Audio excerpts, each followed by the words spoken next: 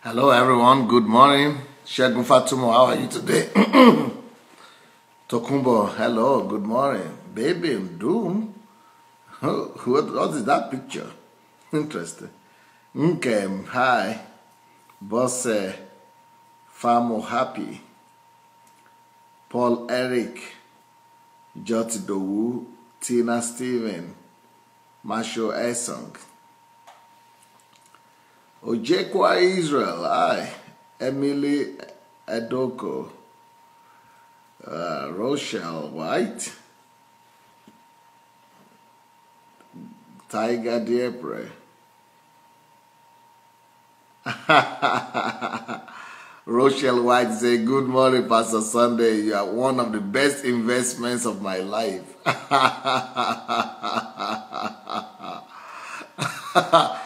from the other side of the world, from New Zealand. Uh, you are in New Zealand, and I'm here, and I'm your best, the best investment of your life. Amazing, amazing, amazing. I'm happy. I'm happy. That makes me happy. That makes me happy. Thank you. Nana Kalu say, Pastor, you are looking good. Are you sure? no, I look ordinary. I think I just look ordinary. I just, I try to come here, I just look as simple as I could. Abayomi, Apostle Abayomi, Onadikwe, Gab Guevara, Guevara, oh, Guevara. Ah, oh, it's not Guevara, it's Guevara. Okay. Guevara, Guevara, Guevara. Okay, Gi. Right, I got it now. Guevara. Hello, Elizabeth. How is Kenya? Ovi Dominic, Okoli Emeka.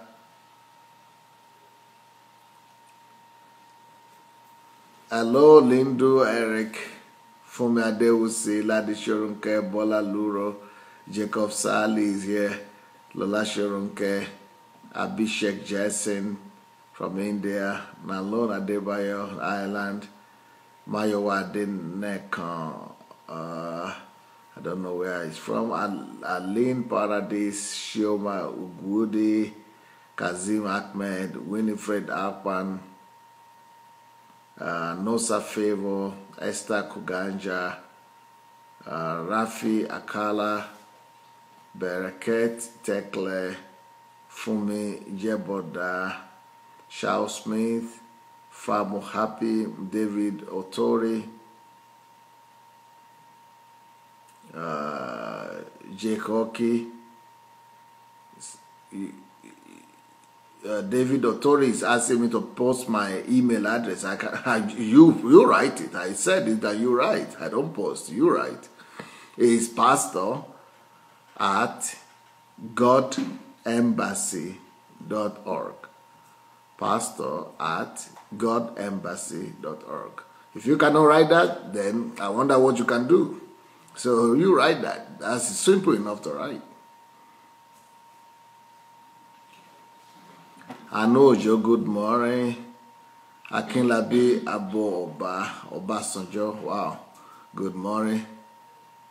Is that one of is that Obasanjo of our president? Our former president? Maybe not. Olukayode Kundayo. Good morning. Well, yeah, we're we're ready to go. So nice to uh, see all of you here this morning, and um, I hope you today you got notification. Yesterday people didn't get notification. I hope some of you got notification today. Ike Amadi is back. Wow. Okay. Well, here we go, and uh, it would be nice to have you go and share the link. Just let's quickly go and share the link before we continue. Uh, look for your share button.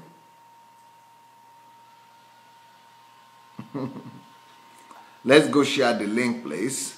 Let's go share the link. Once we share the link, we'll be ready to go. So look for your share button. Look for your share button. And we'll be ready to go. All right. Have you all shared the link? As everybody shared, once you've shared it, then we can take off from there. You see, this week we're still continuing to talk about calling. We are still continuing to talk about calling, how to help you discover your calling, how to help you discover who you are. While you are here on the earth, what God sent you here for. And the topic for today is your calling is in what you can do without noticing time. That looks simple, isn't it? Your calling is in what you can do without not noticing time. Are there some things that you can do without noticing time? I'm not like saying this is not talking about, you know what people do, especially when we were young and uh, we used to say, "Oh, I and I'm looking for out of one away time. Let's just go and play somewhere. Let's one away some time. Let's one away time." This this point I'm making today is not about winding away time. Anybody can do stupid stuff. Anybody can be foolish. Anybody can spend time foolishly and just you know unthoughtfully. Anybody can be unthoughtful. Anybody can be stupid. Anybody can be foolish. Anybody can just spend their time and wind it away and kill the time. That's not the kind of thing I'm talking about. I'm talking about being the, the ability to be so engulfed in what in serious matters without even minding the time. So your calling is in whatever you are able to go into, devote your time into, immerse yourself into so much, so deep that you don't even care for the time, you don't care for how long you are there, how many hours has passed, and how you know how long your time there. You know, when you just immerse yourself into something serious that you are so caught up with it that it takes all your time that maybe you only have time to eat and to to to to to go to the restroom. Otherwise, you don't, you know, you are just so busy. And and that is not, you know, some. I don't. Let me start by telling you some of the wonderful stories that I like in this way. And I never thought that this would ever happen to me, but you know what? You know, I'm moving more and more to that lifestyle myself. Uh, I don't. There is a story that is told of Thomas Edison, but not just Thomas Edison. But let me start with the story of George Washington Carver. George Washington Carver is one of the greatest inventors in the world that has ever lived. In fact, he's my own greatest inventor. Um, thanks to George Washington Carver, I got to know the secrets of invention. And that's why I'm so convinced that I can invent. And invent, inventing and uh, it's not a big deal. George Washington Carver is a black man, a son of a slave, who was actually a slave himself, a former slave, and who sent himself to school, uh, got himself educated in a very dramatic situation in America. But that slave boy was eventually to be the one to rescue the economy of the southern part of the South in America, southern part of America. So instead of going to uh, gather all the C, all the GOs of America to do conference and prayer meetings in the stadium, when the economy of America hit a bottom low, because they, they, you know, there was a law that cancelled slavery, and when they let all the slaves go, uh, the econ- there was nobody to work on the fields and only a few people. So there was nothing to do. The economy just collapsed, and then also the con- the uh, what they call it cotton business just dropped because the, the slaves were producing the cotton. So and the cotton was the you know the source of the economy was the backbone of the economy of the South. Just like Nigeria now, when this backbone of the economy is um, is uh, is oil and so now it's just like the same similar situation when the economy is going down because uh, they couldn't produce cotton anymore. There was no demand for cotton, and and of course there was also mechanization. Uh, there was you know industrialization was coming, so people didn't need to you know. So a lot of changes were happening in the economy. Just like with our country, Nigeria, when the oil is no more selling, I mean, they cannot produce enough. The uh, militants are, you know, bumping everything, and there is no income, there is no revenue. One single man saved the economy of America. One single man. One single man. And that single man was a black man. I mean, can you imagine right now with the situation Nigeria is going through that one person will come and bring about an invention that will bring the same amount of money that we are making in oil, or even more money that, that, that, than, than with oil. Can you imagine somebody doing that? And the invention he came up with was groundnut. Groundnut. He used groundnut to produce more money than cotton, than, like we say, oil can produce. One man. He was led by the Spirit. He was so close to God, friendly with the Holy Spirit. And he was a ferocious inventor, thinker. You know, he was innovator. Was a great man. Go and read the story of George George Washington Carver. George Washington Carver. You know, he was he was something else. So he was pro, he was producing from groundnut alone. I think close to 400 different products. 400 different products from groundnut. It's unbelievable. 400 different products.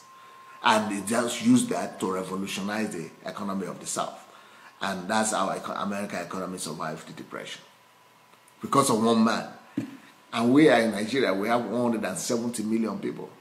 But instead of us to tell them to go to the library and to go to the lab laboratory, lab laboratories and go and do invention and innovation and go and lock themselves up in the library and laboratories, we tell our people to go lock themselves up in the in, in the church or in the stadium with, with with with a bunch of other people, you know, to go to just be praying and praying and praying, and you know, not bad to pray, but what do you do? What is the result of the prayer? What do you do after the prayer? This man also was a praying man. He was a man of God. One of, one, is one of the greatest Christian inventor, inventors you ever heard, hear about. And uh, he was a praying man. He was a believer, strong believer. And he did everything through his relationship with the Holy Spirit. But, you know, today, we, they just tell us to pray, pray, pray, and wait for God to come and do it. And that was the difference between the praying men of those days and praying men of today. The people who prayed that time, they prayed and went out of, from the place of prayer to go and do it, what they have prayed about, to go and perform it, to go and make the miracle happen. They are not waiting for God to make the miracle happen. Well, that's not what I wanted to tell you about, about George Washington Carver. The story about George Washington Carver is this. The man was such a workaholic, even though he was a Christian. So this, this is a departure from a lot of what Christians are doing today. I mean, that you just pray, God will make a way, or you don't need to work hard, or one day of favor is better than, you know, 12 days or 10, two years of labor or something. Some funny quotations, some funny you know, indolent thoughts and sayings that Christians have come up with that one day of favor is better than 10 years of labor. If you don't labor, you don't get any products, you don't get any reward, you don't get any results, you don't get any products. You need time to produce any products, you need time to produce any service, you need time to do quality, you need time to be able to do anything competitive, you need time to be able to produce anything worthwhile. Anyway, so what I'm, you know, you remember the topic of today is that uh, your calling is in whatever you can do, uh, whatever you are doing, that you could imagine yourself so much in that you don't even remember the time. I mean, whatever, what is, whatever it is that could take your time, so that could take, that could, that you could put yourself in, that you could imagine yourself in, that you could so much you know, immerse yourself into and dedicate yourself to be doing something constructive and productive to the extent that you don't you don't notice time. So whatever you can do without noticing time is your calling. Whatever you can do without noticing time is your calling. Whatever you can do without noticing time. So that's why I started to talk to you about, you know, George Washington Carver.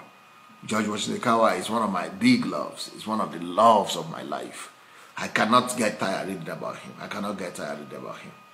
You know, it's my love story. It's my love story. And anyway, George Washington Carver, one of the things that he did is that he would go, I mean, he, he was so convinced about invention. He was so serious about contributing something to this to his world. He was so busy inventing, studying plants, leaves, plants, and nature that he didn't have time to he didn't have time to marry. He didn't have time to marry. He didn't have time for women. he was so caught up with it that he was so busy. so when you are so busy as not to notice beautiful women, then you are very busy. then you are really called.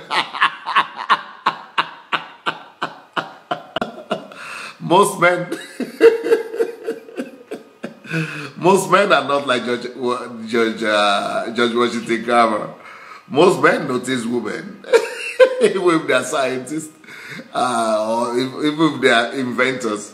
They still notice. They still have a little bit of time to notice beautiful women, but not George Washington Carver. George Washington Carver was so much in love with science. He was so much in love with plants. He was so much in love with nature he wanted to get the secret of nature. He wanted to get the secret of plants. He want, he was so caught up with, uh, with, with invention and with creativity, with innovation, that he was a genuine inventor. He was a genuine scientist. He was such a scientist that he gave his all for it. So whenever you, you know, you don't, you know, when we were in secondary school and we were young, and those boys who never had time for girls, we used to call them crazy. Now I know better. I know better. My, if you know anybody, if you have, if you have any contact with youth, with young people, and maybe your son or your children or your siblings or your uh, family people, or you are a teacher, and you know the way they used to mock, uh, and even parents and adults used to put pressure on those young men and tell them you are not living your life. Go find something interesting to do. Go find a girlfriend. Go find friends. Go and go do and do this. Why are you just reading, reading, reading, reading? Go have fun. Go have some fun. And we used to think, and I used to believe it. I used to think that, you know, if you don't have fun, it means you are not normal. That is what the society tells you. God, Jesus. And it is because of those kind of stupid thought life, stupid thoughts, saying that if you don't have fun, you are not living. Those kind of rubbish, mediocre and mediocre life, no, you know, worldview that is killing innovation in us. It is because of those stupid, mediocre, kind of mediocre, kind of no thoughts that is making us to kill the geniuses among us. He's making us to destroy the passion and the calling, the destiny of thousands of people, of our youth, of our children. Because we discourage them from going into solitude. Solitude with their invention, solitude with their thoughts, solitude with their creativity. We stop them from imagining themselves in something that can really give birth to the deliverance of all nations we stop them from imagining themselves in creativity so strong that could enrich the world, that could have bettered the world, lifted the world up, and changed the world. We, we chase them from their place of concentration, from their place of productivity, from their place of destiny. I mean, I, you know, I don't know where you grew up or what are the culture where you were growing up. But where I grew up, in fact, the reason why I started having girlfriends and partying and doing all the discotheque is because of that mindset, you know. That, I mean, you don't live a boring life. We thought it was a boring life. You don't live that kind of fun life, fun driven, pleasure oriented lifestyle. I didn't know that that is the bankrupt, bankruptcy lifestyle. To be looking for pleasure, looking for boyfriend, girlfriend, and, and, uh, and discotheque and dance. That is vanity upon vanity lifestyle.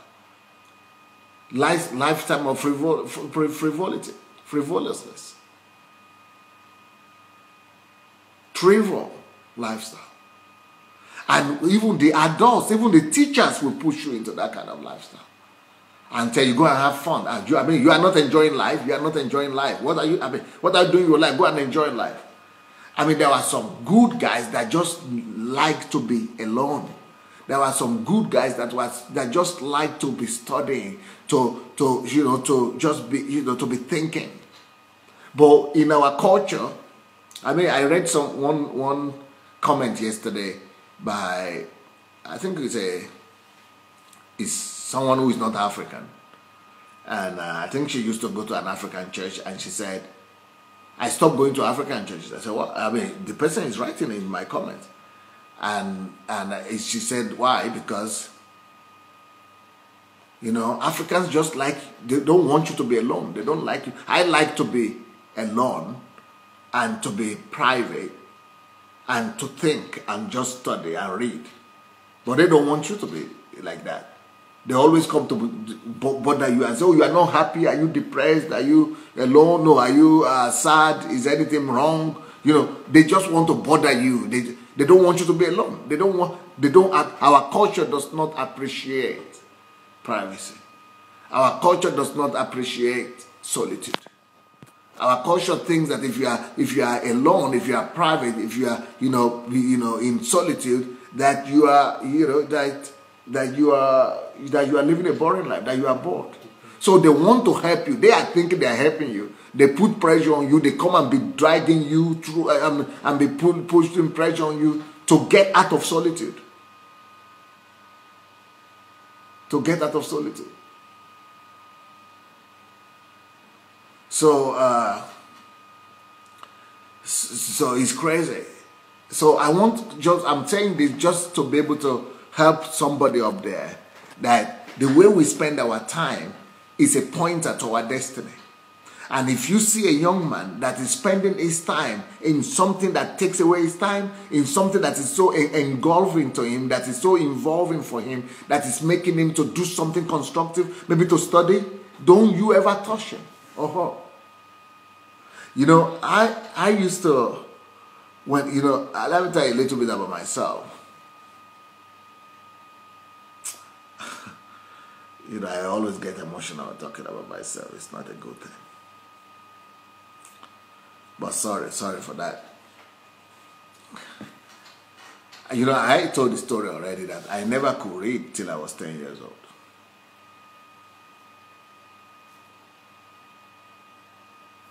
I couldn't read. 10 years, I was in class 4 or so, or class 5 before I could begin to read.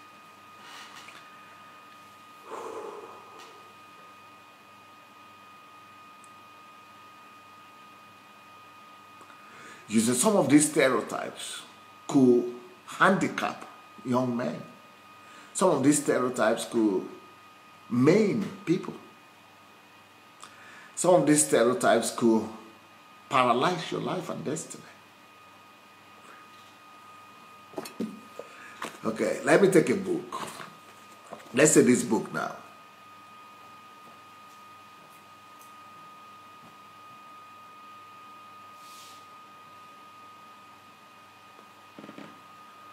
If this is and, and there, somebody will tell me this is and, A N D. And I will say, why and?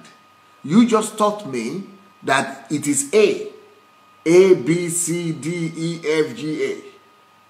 Because they taught me alphabet and I, I caught up the alphabet. I could remember the alphabet. I, I got alphabet. But when you write it, you don't call it A, you call it and. I ah, how and? But it's A. Why should you say it? You just told me it is A. Are you not the one who just told me it is A? So when they write Papa, they say Papa. I say, ah, no, I don't understand. okay, I will say it if you want me to say it. That it's Papa, P P A P A. You want me to say it's Papa? Okay, I will say it's Papa. But I don't say that this is Papa. They said they just, so they, instead of explaining it, they just begin to beat me in the head. They do, she, she, she hit me in the head and say, "You are dull. You are dull. You cannot read." everything I read is questionable. I want to question it. I want to say, but this is not the way it's written. What is written is pay. You say it's A, P A. You say A, B, C. If it's A, it's pay, pay. But you now telling me it's papa. So my mind couldn't come around with. That's why I didn't. I was not good in mathematics because I couldn't understand why you just tell me go and read the formula here and copy it so you do that. I want to think of other ways to do it. Why don't you allow me to think, come up? I want to come up with a way of resolving, not just copy what other people have said or what other people have already discovered. It's always not interesting for me to just use what other people have discovered. I don't know if you people get it. You know, it's not always interesting for me to just follow the rule. Just say, okay, just do this. I feel I'm, I'm being violated, that I'm not a human being. That's the way I always felt from childhood.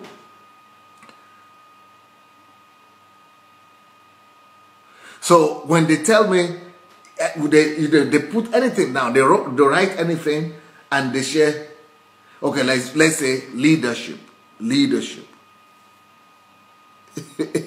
I said, but this is EA. Leadership. But why do you call leadership? So I always question anything, everything. But my teachers and my family and my relatives that were trying to teach me to get to read. So I got into a stupor because of that. I couldn't get it because, because they would tell me A, B, C is A, B, C, D, E, F, G, A. They would tell me that is it. This is the way I, it is A. Then when I begin to read, they will tell me, no, it is R now. And this other one, it is E. E, e is leadership here. It's not R anymore. It's not even A. so it got me so messed up in my mind. I so they would just be beating me. You can't read, you can't read. And in, at my school and in my environment where I was growing up, kids were already reading at six years old. At six years old, you are supposed to be reading already. And they just kept on beating me. I couldn't read. They would take me to the next class, class two. I didn't even know how I got there. But still, I would not be able to read. Because of that confusion in my mind, I would always be having questions. And because uh, I was not reading, because I couldn't read because I couldn't think straight, like they, they, you know, just in the line, straight line thinking. And I didn't know that that was even a problem. Now it's just recently that I discovered that. But they were only they had only one explanation.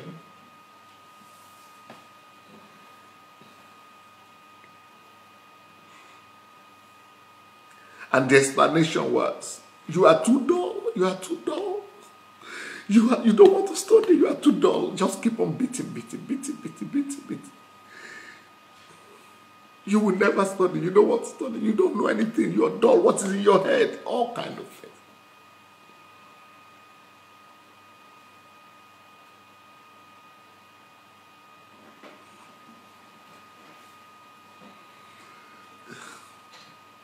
At the end of the day, when I was grown up, I just decided that, okay, I will just do what they tell me to do. they will kill, they're going to kill me. I didn't know that what I was having was actually a different way of studying. I never knew that I had critical thinking. I had a critical mind. And my own style of study was through critical thinking, not seeing things in the ordinary way, not seeing, just not following the chart, not following the, the path that everybody follows. And if you see my teaching, if you listen to me, if you are one of the people listening to me, you will discover that Pastor Sunday talks differently, that Pastor Sunday reasons differently. You will discover that I bring out things other people don't see. That is as a result of my critical thinking. And that's the way I learn. That is just my nature. I've got to study. I've got to understand everything for myself. I, you, I don't just repeat what other people are saying. I ju don't just follow what other people are saying. I've got to study it. I've got to agree with it before I repeat it. I've got to know it's right. And I've got to look at it from every angle. I've got to get to the truth by myself. But I was almost killed for that. But it is because they used to just say, in that time that you can only study two ways. Either you study by what you hear or by what you see, visual and you know sound. So they, they will show me the house. I see the house, but they will say I should pronounce it opposite of what is written in my own mind. But my own way of thinking and learning was through critical thinking. But they couldn't appreciate that. You know, I needed to follow. So that's why I was not good in mathematics as well. And in mathematics, uh, they would just say, you know, there is a formula that was given to you last week. So that formula is what you use for all these things. Ah, how can I just use one formula that is just okay? This other one is one, this formula, this other one. So how can I just be using something that is already made, got by somebody, and then use it to apply to? Because I didn't know that. Yes, that's for some people. That is okay. That is, but that is creativity too. You could take that to do another thing to create to dif- to discover different formulas and all all that. So I want that's what I wanted to. I wanted to discover different formulas. Let me okay. I got the formula you gave me but let me use this formula and create my own. That's what I wanted to do. Okay, okay, I got. You gave me this formula. I'm not against it. Let's use it to resolve this. But in resolving the other thing, I want to now approach it, use this formula and get my own formula. But he said, no, you are wrong. And they begin to beat you again. It was later on in life that I discovered that you just follow that formula. That's it. I said, ah, so easy. So why are everybody saying that mathematics is so difficult? I discovered that it's too easy. I thought I needed to come up with it, with the answer. But now I didn't need to come up with any answer. I just need to remember. I didn't know that mathematics is so easy like that. Because I, I used to think you eh, you must think it out. You must come up with it with the answer. That's what I like to do. Anyway, why am I telling this story? when I eventually did what they told me to do, I mean, when I eventually began to read the way they encouraged me to read, when I eventually started, I got it, I, I, I could read.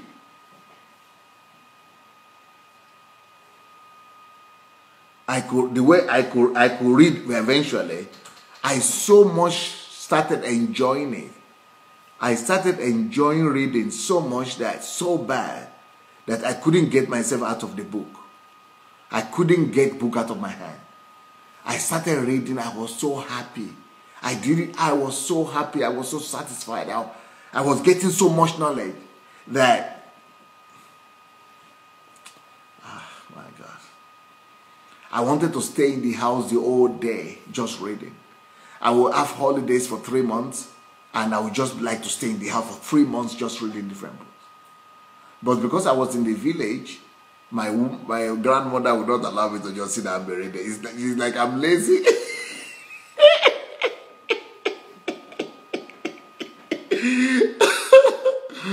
like you are lazy. How can you sit there and just reading? You don't want to go and work in the farm. Let's go. no, they take me to the farm. They they come and kick me out of there and take me to the farm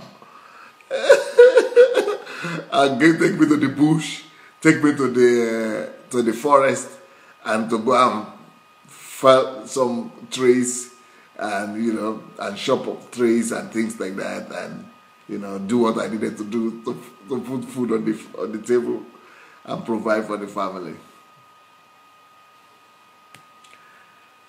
But if they had allowed me, but later on, thank God, God helped me, I still got to a place when I was on my own and I could I could uh, now study on my own and things like that. But still, can you imagine how many kids are suffering from these things? How many parents are depriving their children? I mean, they are, they are kids, so they are children of, eh, eh, you know, engrossing themselves in what they love to do.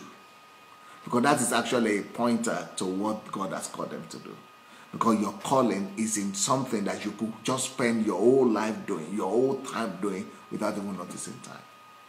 I used to like it so much that I would I'm reading, I start reading, I